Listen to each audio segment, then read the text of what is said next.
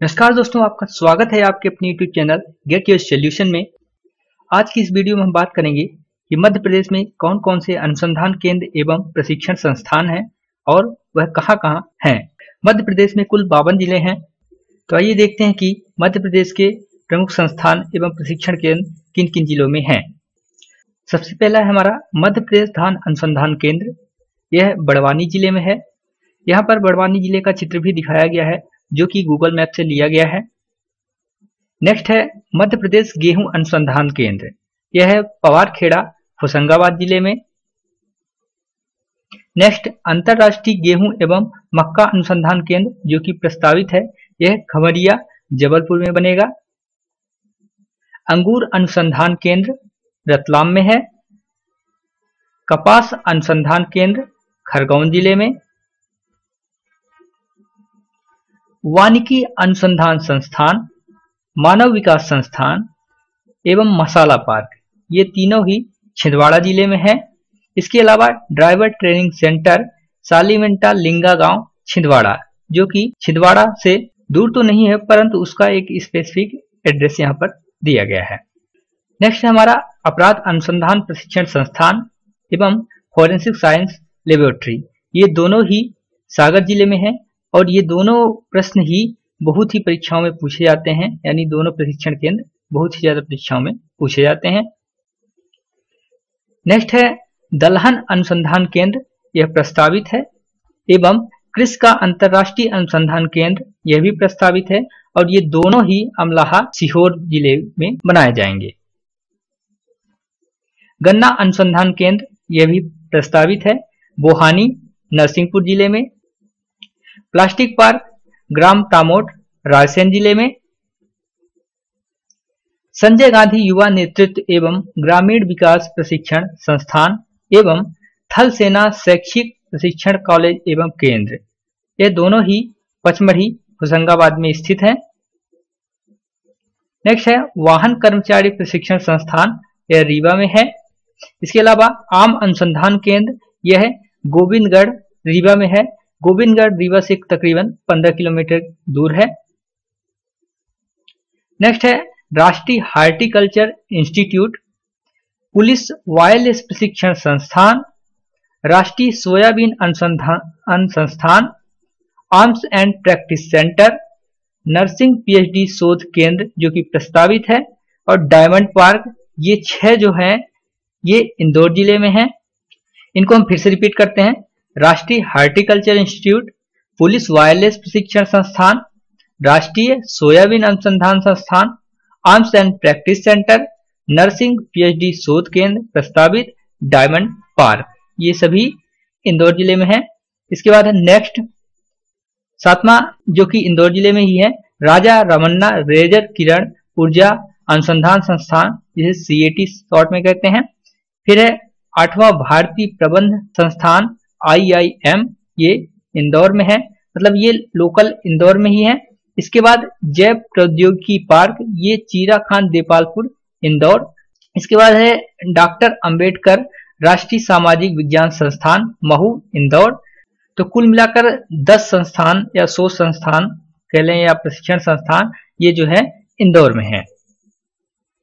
इसके बाद है भारत रत्न भीमराव अंबेडकर दूर संचार प्रशिक्षण संस्थान। मध्य प्रदेश वन अनुसंधान केंद्र उष्ण कटिबंधी वन संस्थान, राज्य विज्ञान शिक्षा संस्थान, महात्मा गांधी राज्य ग्रामीण विकास संस्थान। ये सारे पाँचों ये जबलपुर में है। एक बार फिर से इनको देखते हैं हम। भारत रत्न भीमराव अंबेडकर दूरसंचार प्रशिक्षण संस्थान। दूसरा मध्य प्रदेश वन अनुसंधान केंद्र। तीसरा उष्ण कटिबंधीय वन संस्थान।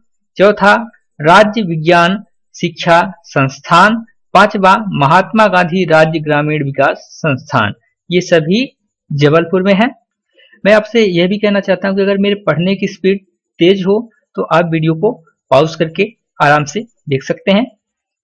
फिर है छठवां, जो कि जबलपुर में ही है, नव आरक्षर प्लाटून कमांडर प्रशिक्षण संस्थान। सातवां, readymade garment and fashion design cluster.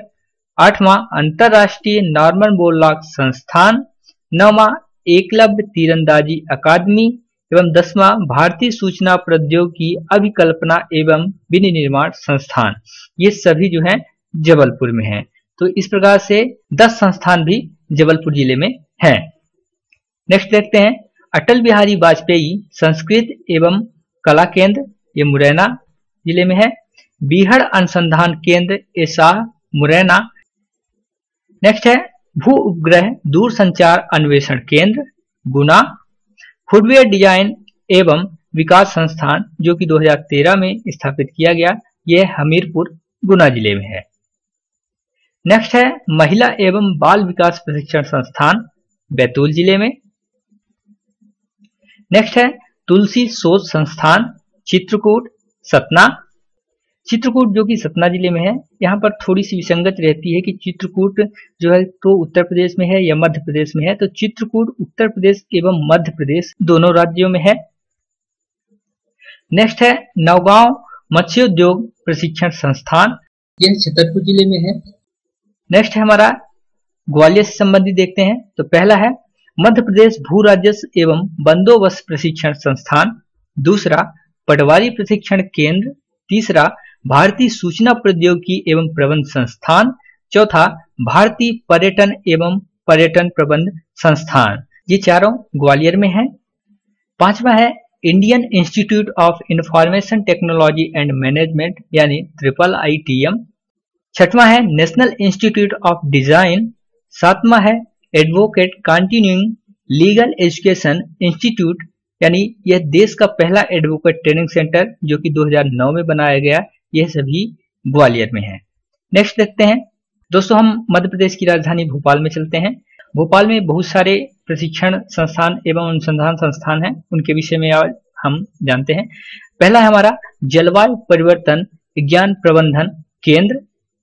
दूसरा, मध्य प्रदेश जल एवं भूमि प्रबंध संस्थान, जिसे शॉर्ट में वाल्मीकि कहते हैं। जनजाति अनुसंधान एवं विकास संस्थान।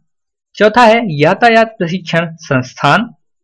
पांचवा है स्वान अनुसंधान प्रशिक्षण केंद्र। छठवां है अटल बिहारी लोक प्रशासन संस्थान। ये सभी भोपाल में है। इसके बाद सातवां आपदा प्रबंध संस्थान। देश का पहला आपदा प्रबंध संस्थान है यह आठवां भारतीय सूचना प्रौद्योगिकी संस्थान, यानी ट्रिपल आईटी। नौवा है भारतीय वन प्रबंध संस्थान, डबल आई एफ़ एम। दसवां है भारतीय मृदा विज्ञान संस्थान। ग्यारहवा है स्वान अनुसंधान प्रशिक्षण केंद्र और बारहवा है जीव विज्ञान संस्थान। ये भी भोपाल में है। इसके बाद नेक्स्ट तेरवा है केंद्रीय कृषि अभियांत्रिकी संस्थान। चौदह नंबर पर राष्ट्रीय विधि संस्थान। पंद्रह, राज्य शिक्षण संस्थान। सोलवा मध्य प्रदेश नरोन्ना प्रशासनिक अकादमी। सत्रहवा जेल अनुसंधान एवं प्रशिक्षण शाला अठारवा महर्षि पतंजल संस्कृत संस्थान, ये भी भोपाल में है। उन्नीसवा है हाई सिक्योरिटी एनिमल लेबोरेटरी बीसवा राष्ट्रीय तकनीकी प्रशिक्षण एवं अनुसंधान संस्थान, इक्कीसवा राष्ट्रीय अभिशासन एवं नगरीय प्रबंध संस्थान, बाईसवा है National Institute of Fashion Technology तेईसवा है Centre for Research and Industrial Staff Performance जिसे क्रिस्प कहते हैं, ये सभी तेईस संस्थान भोपाल में हैं। तो दोस्तों, आज का हमारा यह वीडियो आपको कैसा लगा, हमें कमेंट करके बताइए। साथ ही अगर आपको वीडियो पसंद आया हो तो लाइक कीजिए और शेयर कीजिए। और अगर आप हमारे चैनल पर पहली बार आए हैं तो सब्सक्राइब कीजिए। धन्यवाद।